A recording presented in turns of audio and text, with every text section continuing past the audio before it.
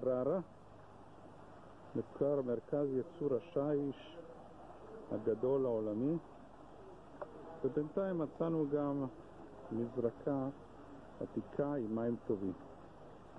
מהמאה ה-16 כתוב שם. על מחצבות קררה, מחצבות העתיקות המפורסמות מהתקופה הרומית. השיש הלבן וגם שיש בצבעים שונים מחומצות. מעלה שם, אתם רואים חצי, חציבה של שיש ברורה.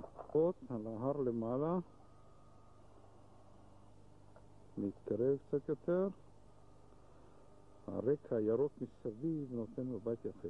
שיש הוא למעשה אבן גיר, כמו שיש אצלנו בארץ, שעבר מטאפורמוזה, בום ולחץ. החימום והלחץ עושה את הגיר יותר יפה.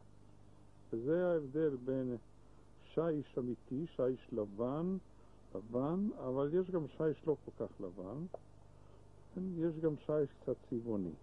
מהחנות בקררה.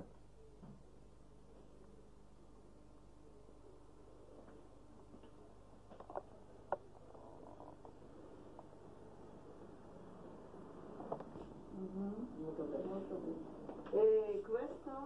Questi vengono completo, 13,5. אה, יצא. Questi sono וחצי. ומה זה השני? זה לפלפל. זה טוב, את צריכה, אנחנו צריכים... לא צריך את זה לפלפל, אבל אני יכולה לתת את זה מתנה, אני יודעת. מה תעשי עם זה?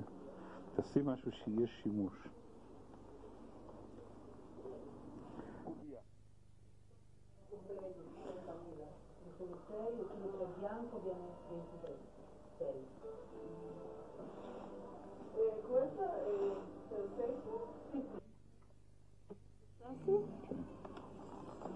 האיש, גושי שיש שהוצאו החוצה כבר, מרובעים יפים. כל היתרון של השיש הוא הנוחיות של העיבוד שלו. הנה פה הוא נחתך בצורה ישרה ורכה, מאוד נוח לעבודה. לכן גם הפסלים בימי הביניים, מיכאל אנג'לו, לונרדו דה וינצ'י, כל הפסלים הגדולים הם למעשה עבדו על השיש של קררה.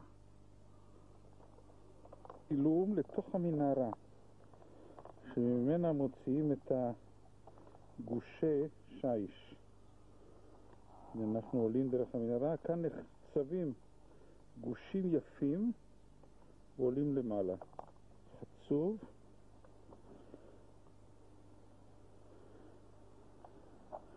טוב, קררה, סיימנו גם כאן.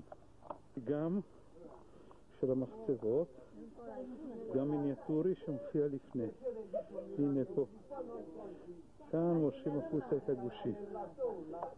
מחצבות לפני כמה מאות שנים כנראה. קררה, שלום. גם יפה פה.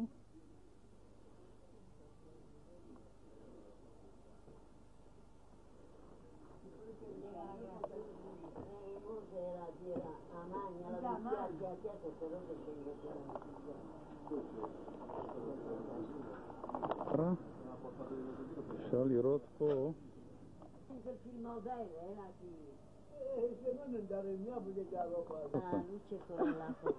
Nu știu, mă șumul terne.